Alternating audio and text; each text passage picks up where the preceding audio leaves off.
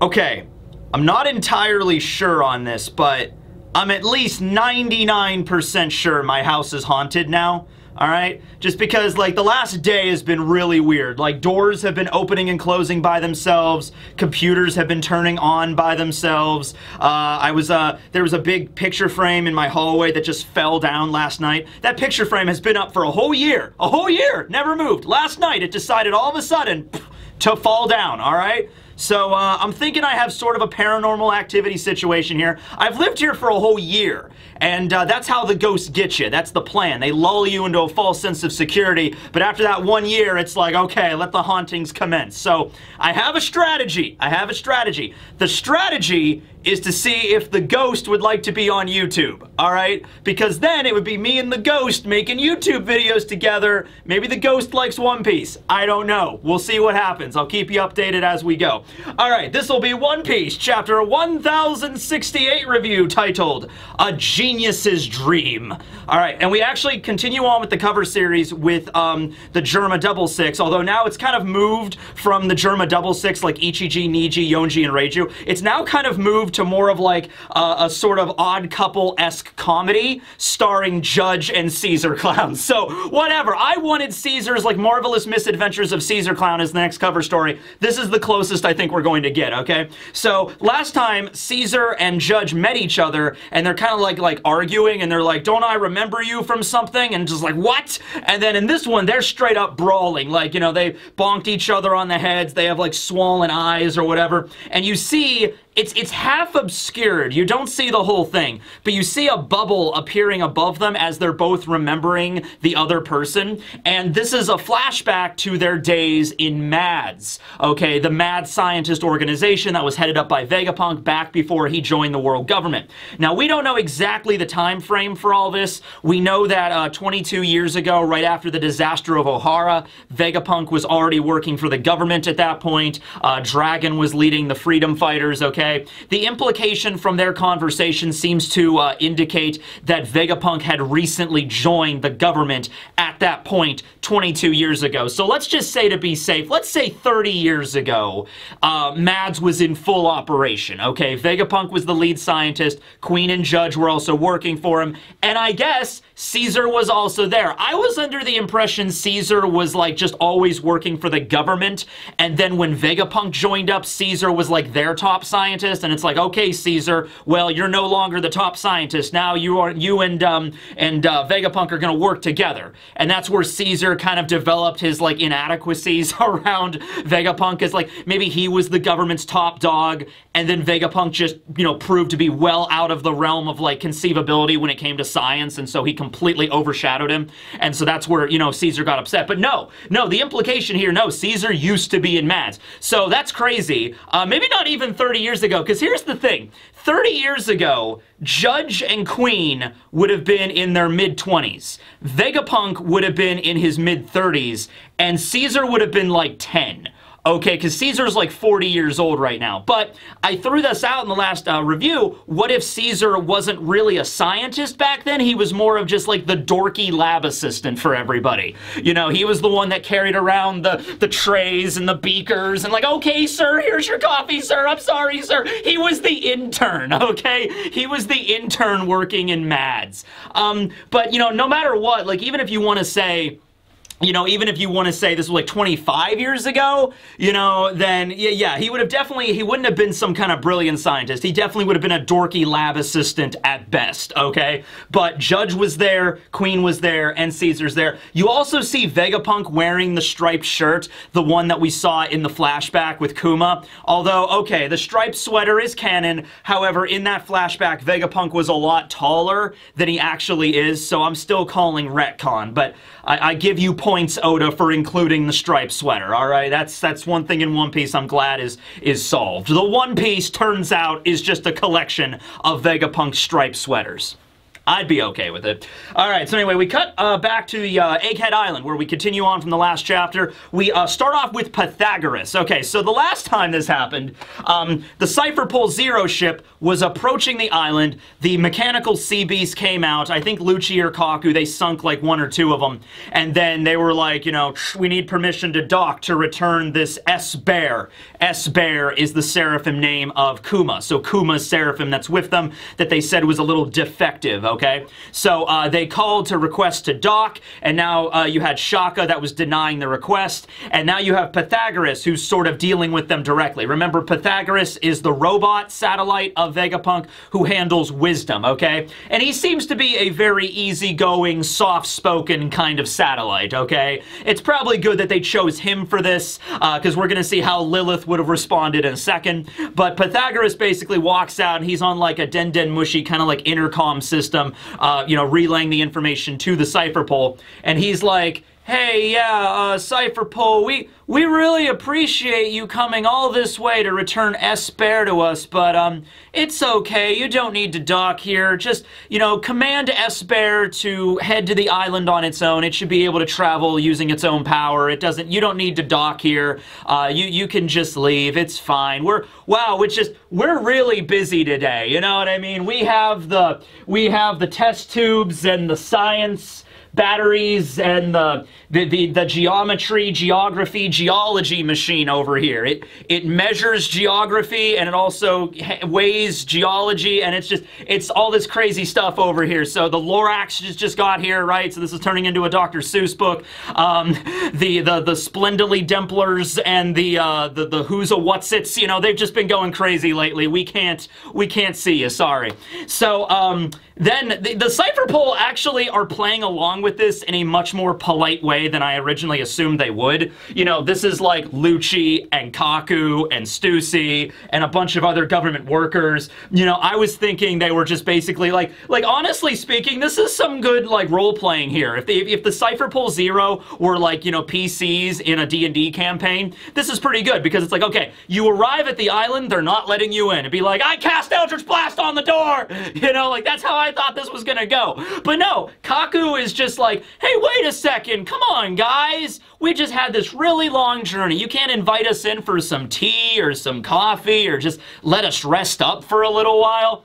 And uh, Lucci immediately knows something's up. Lucci is there. They're all wearing their masks. And Lucci's just thinking to himself of just like, all right, something's up here he's suspicious of something. He knows we're trying to kill him, you know. But I'm sure that just maybe excites Lucci even more because it's like the most dangerous game kind of a situation. Like, hmm, my quarry is beginning to move. I must attack, you know. So Lucci knows something's up. Kaku seems to be pleading ignorance here. I don't know if it's an act or if he genuinely just wants a cup of tea. It's like, come on, man, we've been into the ocean for like two weeks. We just want some tea. And so um, Pythagoras comes on. He's like, well, you know, G14 isn't that far from here, the Marine base that Doll is the head of, you know, Vice Admiral Doll, you could head over there. I'm sure they would accommodate you with some uh, delicious continental breakfast and tea and coffee and everything that you could possibly want. You should head over to G14. We're too busy today.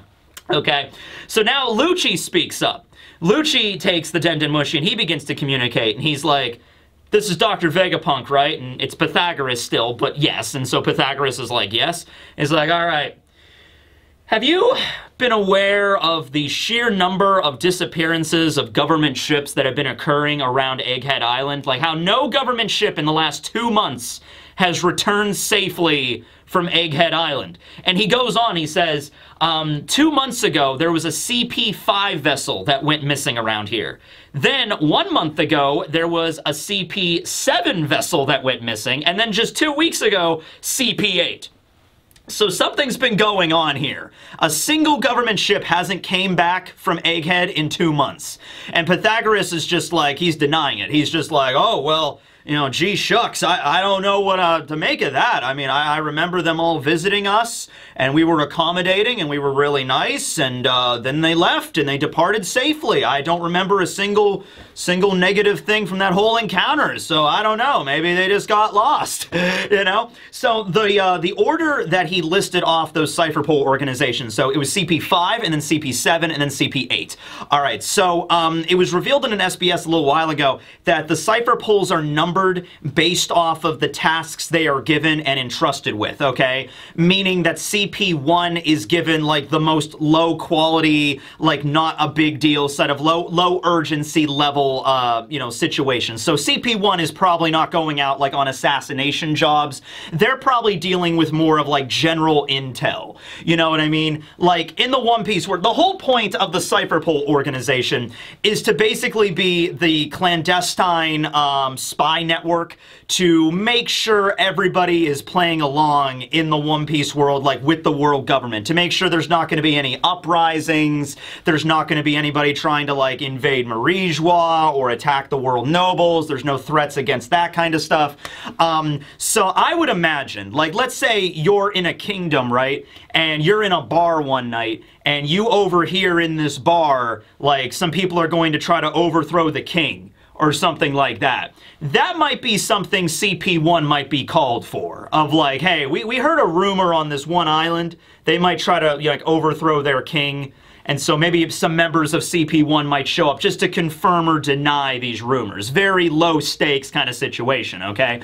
But um, as the urgency increases, as the importance of the mission goes up, then more and more higher rank Cypherpole, okay? So they sent Cypherpole 5, and then it got upgraded to Cypherpole 7, and then it got Cypher Cypherpole 8, okay? Now, in terms of the citizens of the One Piece world, the only ones they're aware of is CP1 through CP8. 8 is like the highest Cypherpole. Now, we know that is not the case. CP9 was the super secret branch that nobody really knew about other than like the government, only like a few people knew about that. And then Cypherpole 0, I, I hesitate to say, I, I think Cypherpole Zero is known to the public uh, because they're the ones that directly guard the Tenryubito, so I'm thinking Cypherpole Zero is like public knowledge, but CP9 isn't. So they didn't mention CP9 here, and I think that's because right now CP9 probably doesn't exist. Uh, I'm pretty sure most of the CP9 operatives that we knew about during Enies Lobby, like Kaku, Jabra, well definitely Kaku, but like Jabra, Kumadori, uh, if you saw film Red, Kalifa was confirmed to be a member of Cypherpole Zero in film Red. So they've all been upgraded to CP0 at this point. Maybe Cypherpole 9 still exists in some form,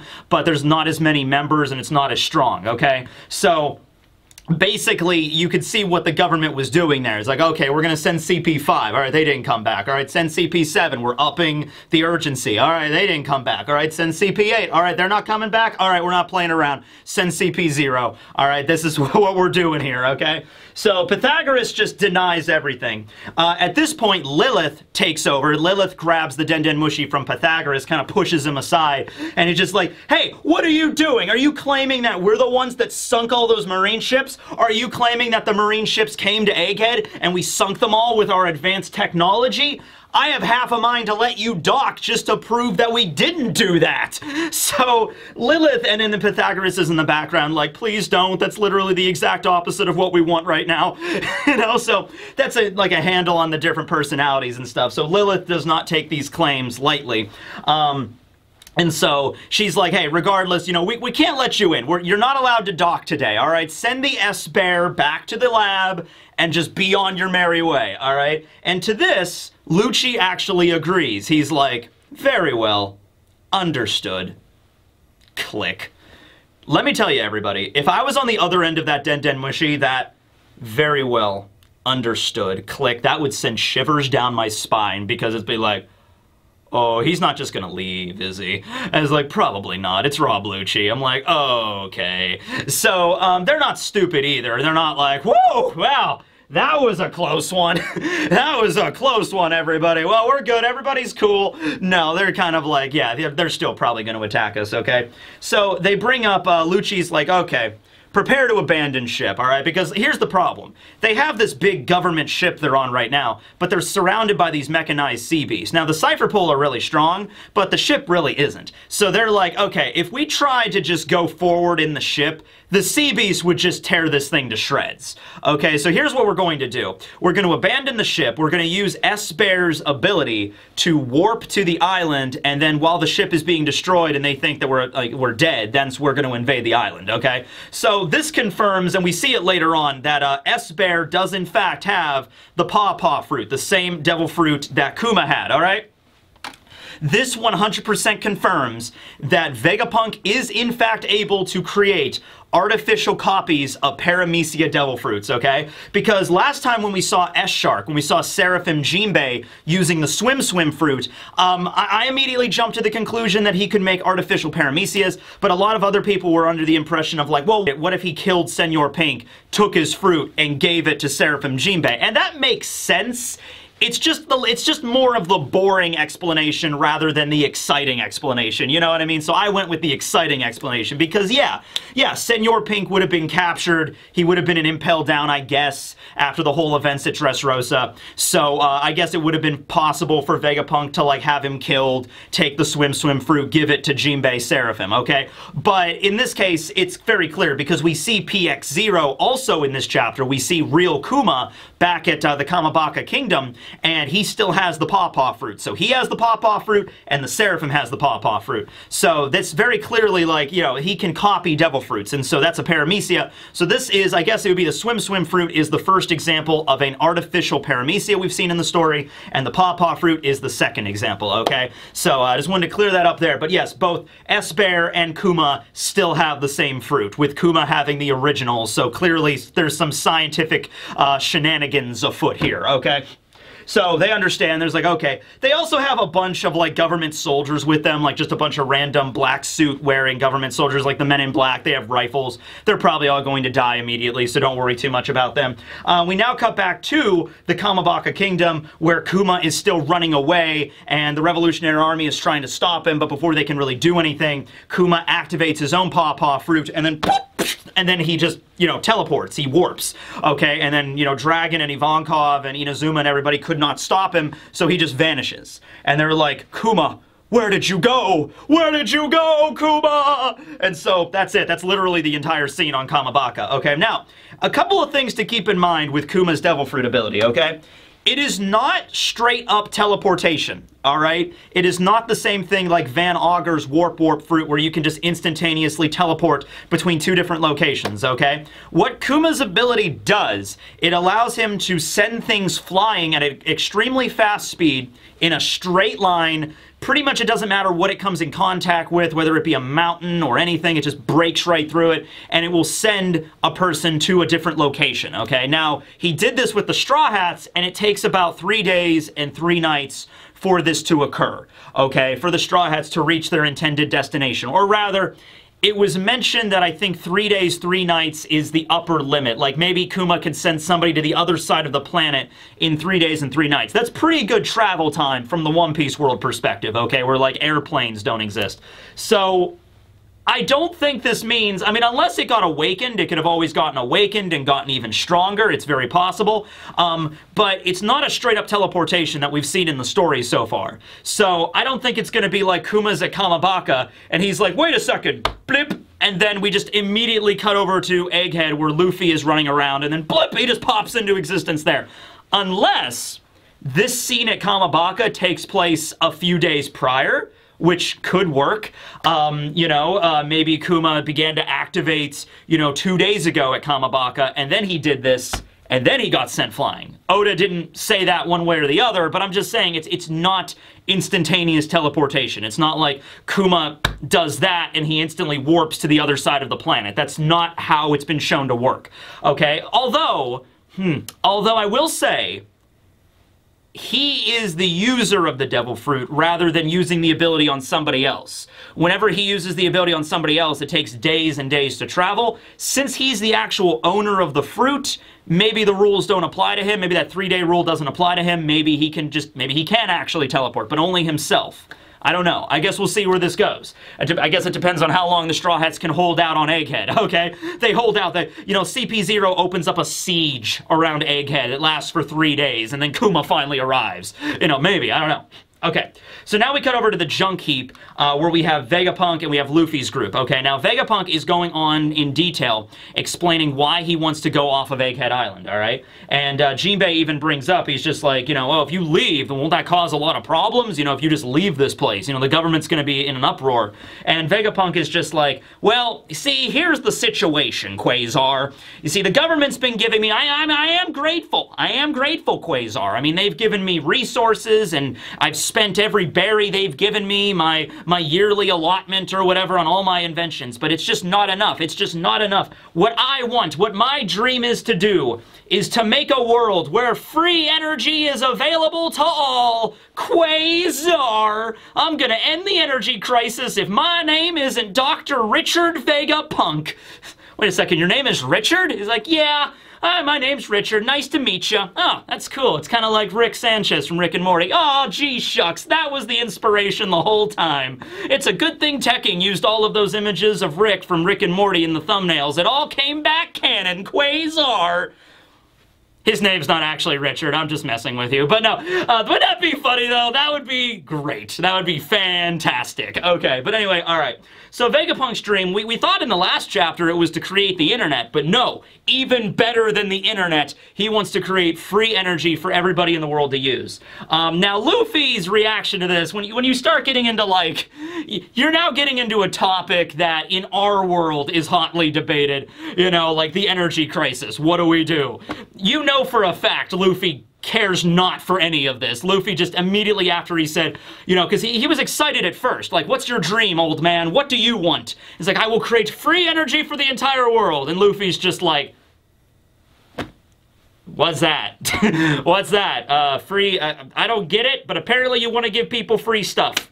Good for you. So in order to try to get Luffy to understand this a little bit better, uh, Jinbei begins to explain to him, he's like, well, Luffy, um, you see, certain nations in the world will often wage wars with other nations because of a lack of natural resources to be used as energy. Okay, and Luffy still kinda doesn't get it, but Vegapunk is like, ah yes, precisely, precisely. People can be so short-sighted. There's energy all around us, swirling about in the world. And they look up and they actually see like swirling patterns around them. And I'm not really sure what this is supposed to indicate, whether this is like some kind of like maybe just like Vegapunk seeing it like this, or if this is actually happening, or if Vegapunk's using some kind of like illusion or something for like swirling energy to just appear over their heads. Maybe it has something to do with the island clouds, I don't know. But he's basically talking about how there's so much raw energy in the earth, in the world, that we just haven't accessed yet. We haven't tapped yet, okay? Well, I hope to solve the energy crisis, create an unlimited source of energy that everyone can access, and then there will never be conflict ever again. Okay, to that, I have to say, good idea, Vegapunk. I mean, that's very noble of you to make, the, you know, the infinite energy. That's a good idea.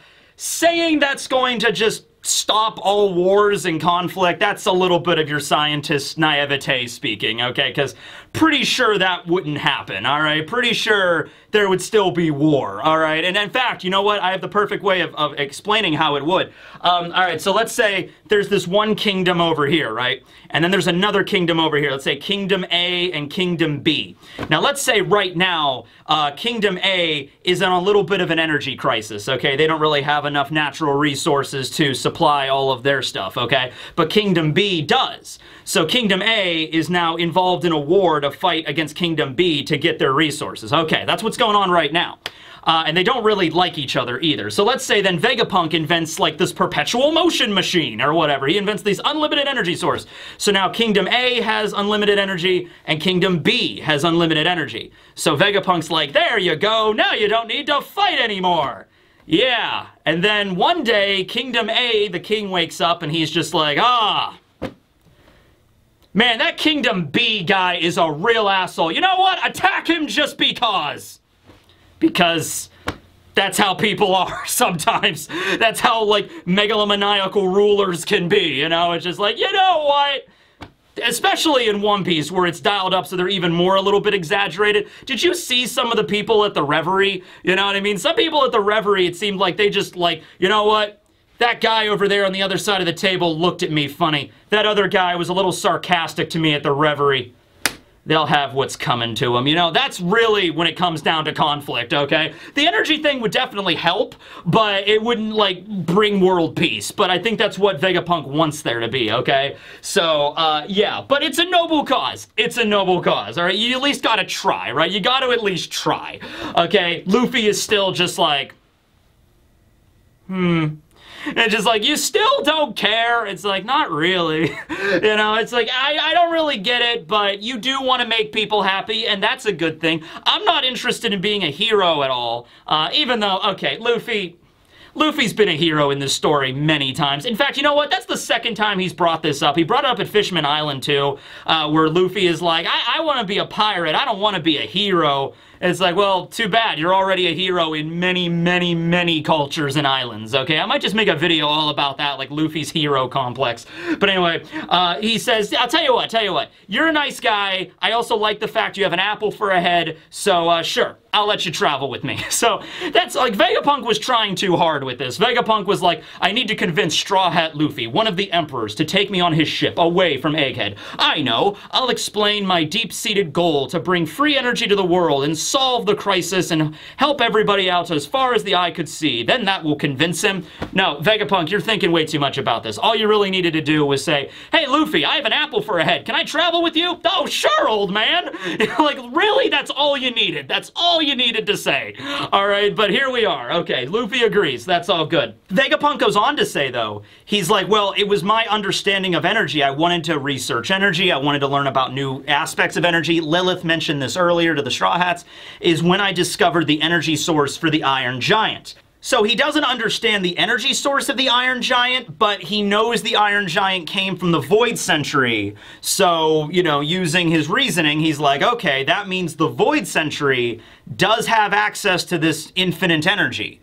So he started researching the Void Century, and that's a big no-no. So that's what led him to have a problem right now with the government and why they're sending Cypher Pole Zero to eliminate him, okay? He also brings up Clover. He says, you know, after a dear friend of mine died, I found myself diving even deeper into history, you know, to further his own will. Okay, so Clover died, and even though Vegapunk knew researching the uh, the Void Century was a huge taboo and the government will eliminate you no matter who you are, he still did it for one thing to further Clover's own will, and Clover was a friend of his, and number two, because it is where the secret of this energy source lies, okay? So then he began to research, and he goes on, but as soon as he begins to talk, there are explosions now in the town. So they're in the junkyard right now. They start seeing explosions happening from the town behind them, so that kind of cuts the conversation short. Um, Vegapunk just basically just like sums it up, and he's just like, ah, right, okay, so there are explosions happening. I see they're already here. Okay, so to summon this up, uh, TLDR. Uh, I'm researching energy. The government doesn't want me to, so they're going to eliminate me. This is probably Cypher Pole Zero, uh, and uh, they're going to eliminate me like Ohara. So you get it? Okay. Anyway, I need you to take Bonnie and go up to the Labosphere. It's the giant cloud thing, the egg. Can you make it up there? And Luffy's like, uh, yeah, sure, we can take her. Okay, that's great. I'll see you up there in a couple of minutes. Later, try not to die, Quasar! And he just phases out of existence because he's mastered the power of space-time.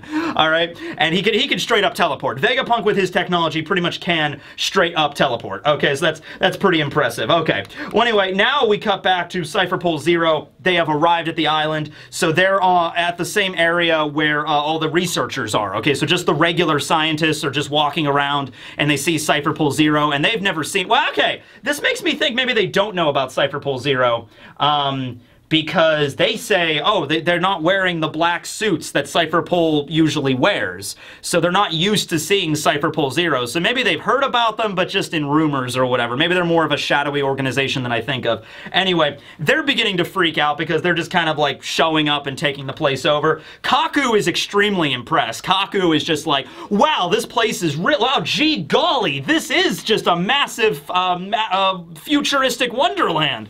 Um, keep in mind, Kaku Kaku also speaks like an old man. Uh, he's 25 right now, but he speaks like he's 75, all right? He's just like, he's just like, well, golly gee willikers. You know, like he kind of talks like that, which makes Kaku a very fun kind of character. I'm glad Kaku is back. Are you glad Kaku's back? He's got two years to train with his giraffe fruit. I'm sure it'll look pretty cool.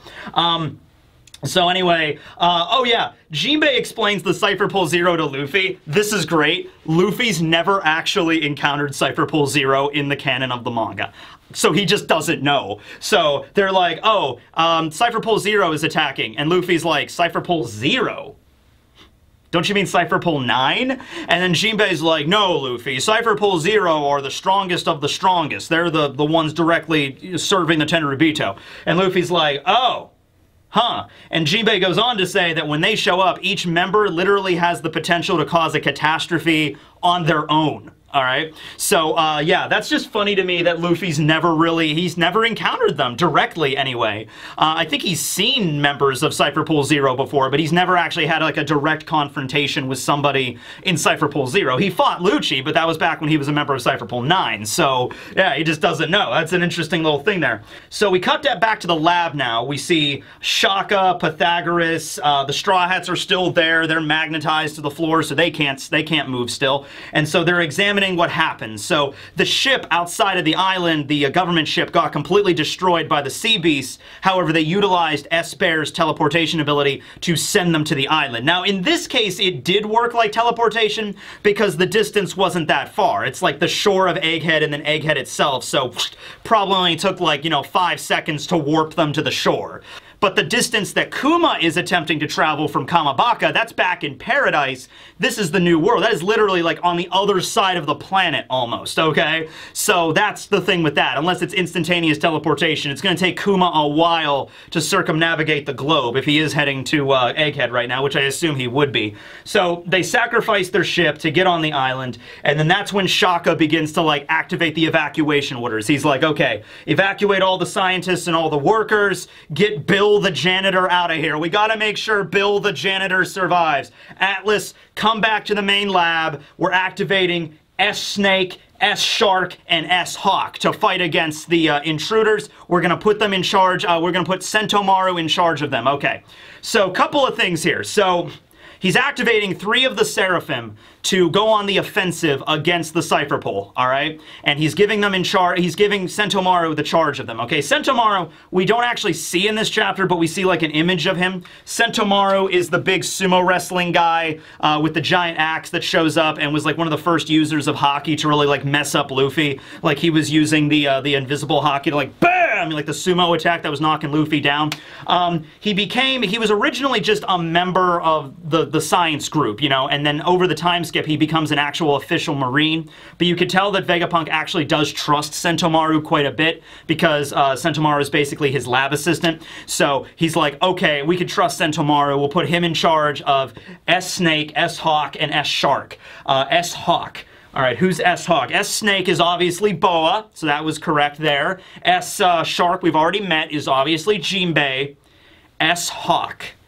S-Hawk. S-Hawk. Okay, which of the warlords are based off of a hawk? I think Oda might have messed up on this one. I can't think of any...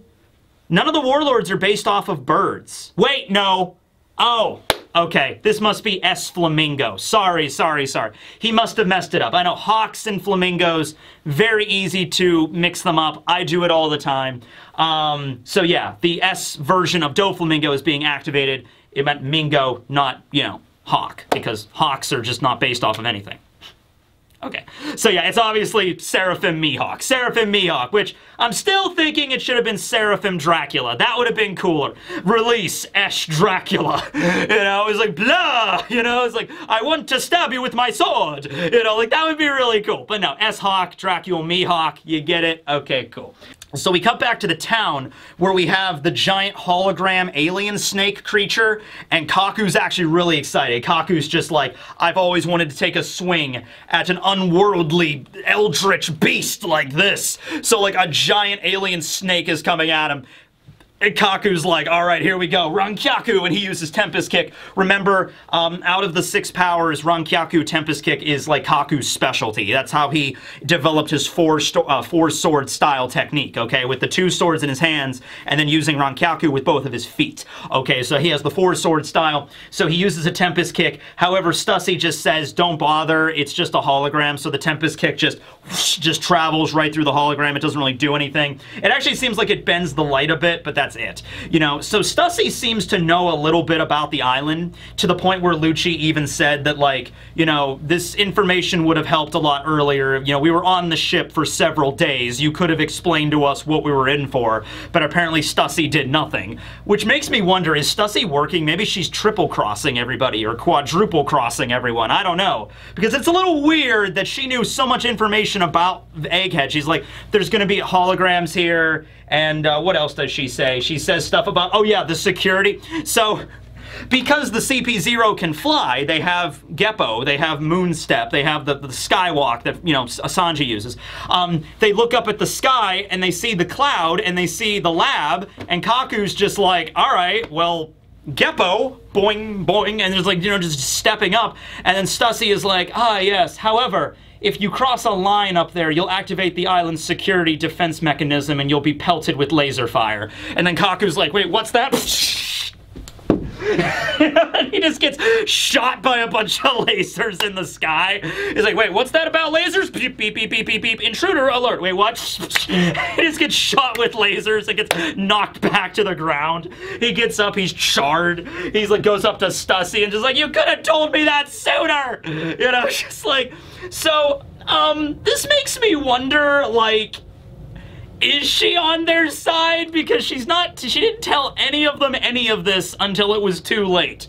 So I don't know. We don't know that much about Stussy and what her real goals are, so pay attention to her, I guess. Okay. But anyway, yeah, she explains that it's called the Frontier Dome. The Frontier Dome is like if you can't you can't just access the lab by just flying up, so you'll just get immediately pelted with lasers, okay?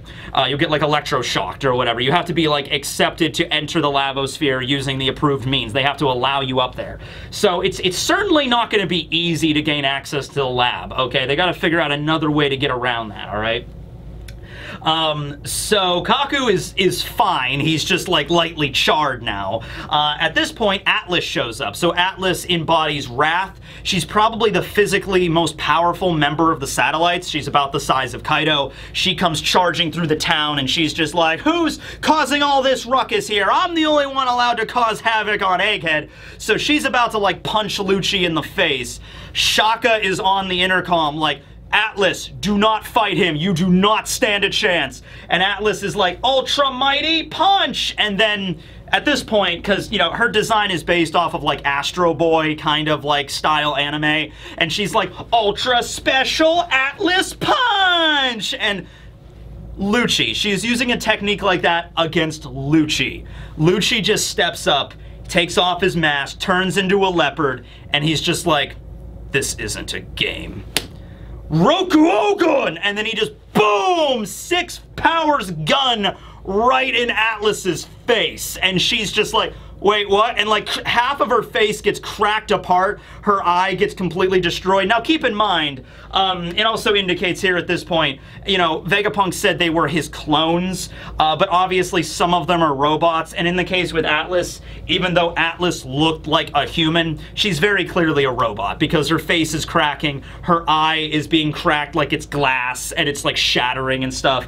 Um, and so, yeah, Lucci used the Six Powers gun, which is once you master all of the six powers, you gain access to the seventh ability, which is the ultimate power gun. You just like, you know, you know, attack your enemy with that. It's like a shockwave cannon that you use. He's used it um, against Luffy. There's another variant where he grabs an enemy with his tail so they can't move, and then he just uses like, you know, a point blank Rokuogan. So no, but Atlas got it right in the face because she was just kind of an idiot and ran right into Rob Lucci. I mean, this is what happens when you do that.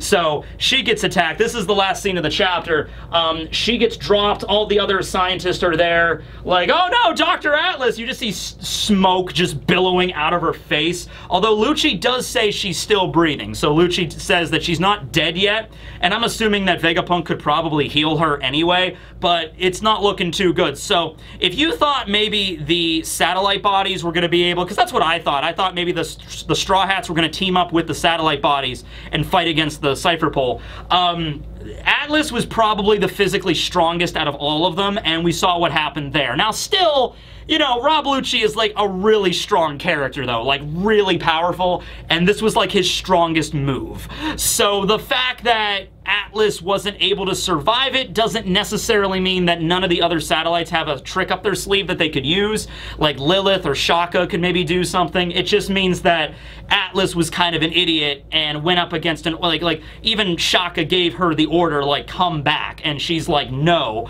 I'm just gonna charge in and try to just straight punch uh, Rob Lucci, see what happens. So at this point, though, we have the final scene of the chapter. Luffy has Bonnie over his shoulder. They're running through the town as like explosions are happening in the distance. And then uh, he's like, let's head to the top with that vacuum rocket thing.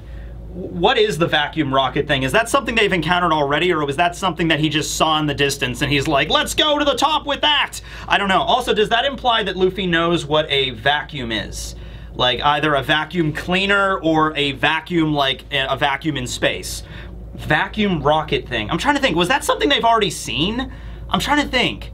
Did they did they encounter anything so far where it's like a rocket? They might have? I don't know. But anyway, yeah, they're like, let's head to the top. Let's like commandeer a rocket ship and go to the top. Anyway, because also it's important to mention that in the One Piece world, um, there is science fiction, like the actual medium of science fiction exists, like the comic books, like Sora, you know, Knight of the Sea. So comic book technology exists. So they might have knowledge of it from that perspective. And this was something Bonnie brought up like five chapters ago that I forgot to mention. But like, so they might not actually have ever encountered rocket ships or robots, uh, or at least, you know, not like these kind of robots. But they at least probably still know about them because like reading comic books, right? It's just like, oh, space travel and the rocket ship goes to space. You know, they might know about it from that perspective, okay? From like science fiction terms. Anyway, Luffy and Jinbei are running through the town and they pass right by where Atlas was dropped by Lucci. And Lucci looks over and sees Luffy. And then their eyes meet. And he's just like, Straw Hat. And Luffy's running with Bonnie and just like, wait a second, you're the pigeon guy! And then end of chapter. Oh, no break next week. Nice. Okay, so that was an intense one. This is where things really start getting moving. Uh, like I said, I don't think Egghead's going to be that long of an arc, so we had a little bit of exposition there, but not a lot of it. We had like two chapters where we focused a lot on like uh, Ohara and you know a little bit on Dragon and a little bit about uh, about uh, Vegapunk's past and everything like that and the Iron Giant. We've learned a little bit there, but now we're getting right into the action. We're moving along with this. Okay, Cipher Pol Zero is on the island. They're causing havoc. They're attacking. S Bear is also with them. I'm assuming S Bear is working alongside them. Maybe Vegapunk has like an override control or something. Also, they mentioned the reason they're returning S Bear is because he wasn't complying with orders. So maybe Rob Lucci's going to try to give S Bear an order like S-Bear, attack Luffy and Bonnie. And S-Bear would be like, error 44, please reboot. I'm like, okay, everybody calm down. We gotta reboot the, the robot. And Luffy's like, okay, just...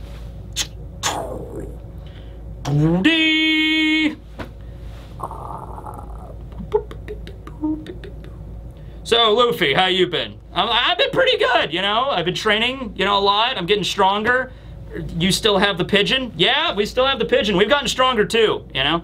I, uh, hold on. No, it's in safe mode. Hold on. Yeah, anyway, uh, I joined Cipher Pol Zero. I got the cool outfit and everything. I got the top hat. That's really neat. I was like, yeah, cool. All right, cool, great. Neat. I could go in gear fifth now. Oh, really? Gear fifth? You only had gear third when you fought me? That was crazy. All right, we're good. All right, let's fight. like, that would have been, that would have been funny. Anyway, okay, so, um, are we just gonna have a reunion, like, fight next chapter, like a rematch? Like, you know, Monkey D. Luffy versus Rob Lucci, the rematch of the millennium. I'll be honest with you. Luffy's fight with Lucci, um, and the fact that their names are so similar is awesome. I'm glad that they're back here now.